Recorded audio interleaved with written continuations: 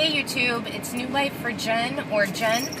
today is April 19th, 2012, and I'm making this video today. Um, there was two topics on the Proof Weight Loss Surgery Works channel.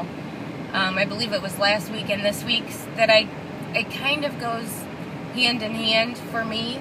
Um, one was the the biggest misconception that you had before you had weight loss surgery that more or less you came to grips with after you had surgery and body image issues. Um, first, let me say that I truly believe that when I chose Lapband, it was going to be just the cure all, fix all way to fix my weight problem. Um, I had faith in it.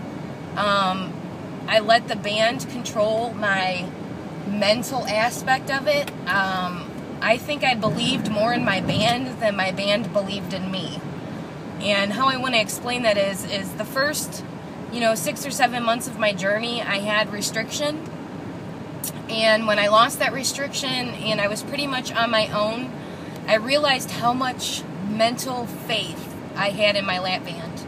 Um, I believed things to be true just because I had the lap band and I would not even go outside that box. I just said, nope, I have the lap band. I can't eat this. I can't do this. I won't do this. It's my rule.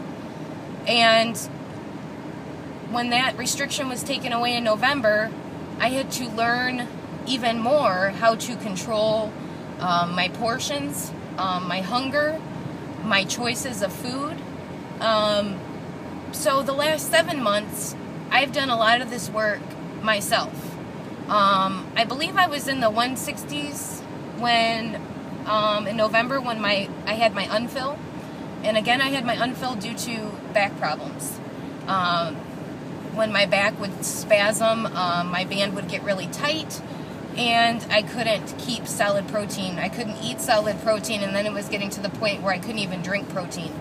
So they did an unfill and I, you know, did go back for a fill after that, and I never got back to restriction. Um, and at this point, my back is still not right, so I have not, you know, chased after getting to that again. I've just learned to more or less do these things without the band's help. But I put a lot of faith in the band, in the process, in the rules to keep me going. Um, so my big biggest misconception is just how much work this is, how much work it was going to be. It wasn't going to be you get this band and the weight just magically falls off. You know, there's rules, there's standards on how to how to chase after your weight loss journey. Um, so my that was my biggest misconception. I thought it was going to be a lot easier than what it has been. Um, and it's been hard, and it's still hard now to maintain. It's, you know, hard every single food that I put in my mouth. Um, just because I had Lapband, it did not fix my mindset of emotional stress, boredom eating. Um, you know, it, it fixed part of my appetite problem.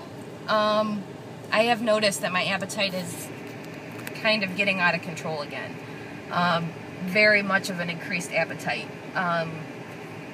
So, you know, I'm thinking about a small fill just to keep it under control. Um, and I can't eat way more than a cup. I try not to. I try to always either weigh or portion out my food. Um, I will be doing a video update tomorrow on vacation and the experience of foods that I have not eaten in 13 months.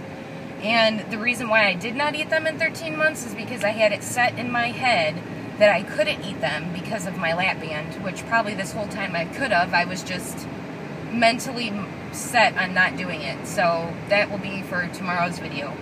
And the body image issues. I have a lot of body image issues, more now than I ever did before. I always had issues before. You always felt like you were being looked at when you walked into a room because of how big you were. Um, uncomfortableness of sitting in certain areas. Just there were certain things I did not like to put myself in the position of having those issues. I would just keep myself away.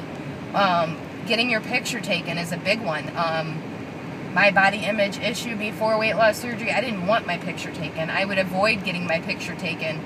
And if I would get my picture taken, it was from like here up. I wouldn't do full body pictures at all. So I don't have many of those. And the ones I do have were from family that had taken the pictures of me, not ones that I had purposely done myself. And after losing 130 pounds, I still have a lot of body image issues. Um, just got back from an amazing vacation, but don't think that every morning that when I got ready to go to whatever we were doing that day, I did not think about my skin, my excess skin issues, um, my thighs, my boobs, I mean, just the whole thing. So have the issues went away? No. And I'm sure I will go through a whole new set of body image issues um, when I have plastic. So I guess it's just through both of these, they're just continually mental growth. Um, you have to learn to accept what you see back in the mirror and be proud and happy of what you've done. And I'm slowly getting there. Um, I work very hard at trying to keep my excess skin minimal um, with a strength and weight training. Um, I try not to go overboard because I don't want to be a bodybuilder muscle type. I just want tone. So the body image issues are there. They haven't went away. They've just changed. Um, they've changed in the aspect of excess skin instead of fat. So hopefully after plastics, they will get better.